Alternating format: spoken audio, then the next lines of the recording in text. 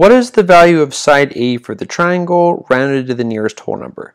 So pause the video, you know the drill, try to figure it out, and we'll go over it. Okay, so this here, hopefully you recognized, is a right triangle.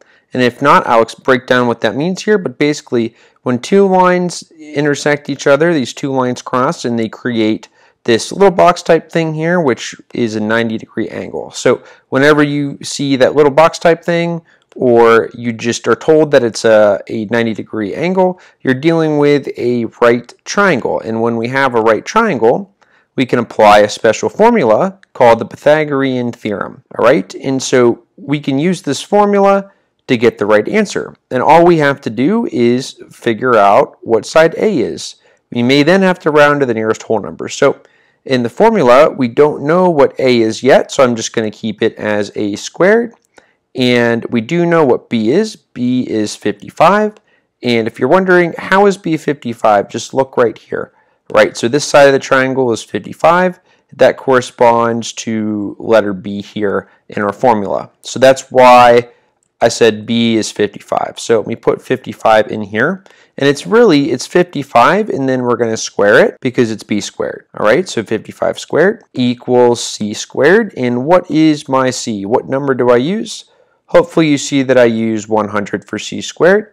All right, and the reason for that is because the c side of a triangle in our formula it corresponds to 100. I put in 100 squared. So I rewrite this and I have a squared plus 3025 equals 10000.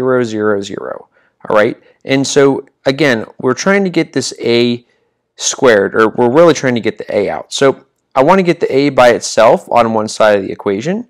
And so in order to do that, I want to clear out this 3025. So since there's a plus sign in front of it, I'm going to do the opposite operation of addition, which is subtraction. And that's going to get rid of 3025 from the left-hand side of the equation.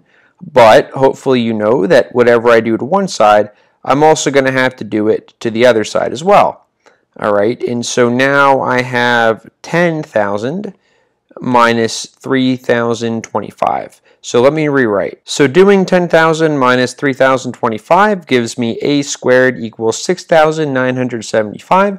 Now I know there's at least one person out there who may have got to this step and now you're wondering, why isn't that one of the answers? I don't see that as an answer choice.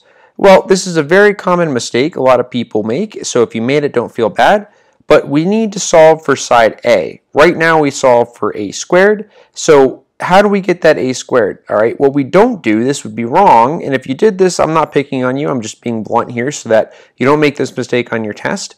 All right, a big mistake would be to think that to get a squared, we have to take this 6,975 and square it, all right? That's not going to get you the right answer. So if you did that again, I'm just giving you a little tough love. All right, it's, it's okay. We're just practicing, but make sure you don't do that on the test. All right, what you really want to do is take the square root of both sides. We're doing that because the square root of a squared is just going to be a, which is what we really want. Now we have to take the square root of this big number, 6975, and what is it? So it's about 83.51.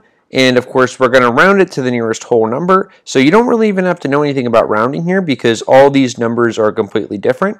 And you can just see, see that 83.51 is close to 84, and so that's going to be the right answer. Here's the written solution. If you'd like to read it, you can pause the video and take your time, and then we'll keep going.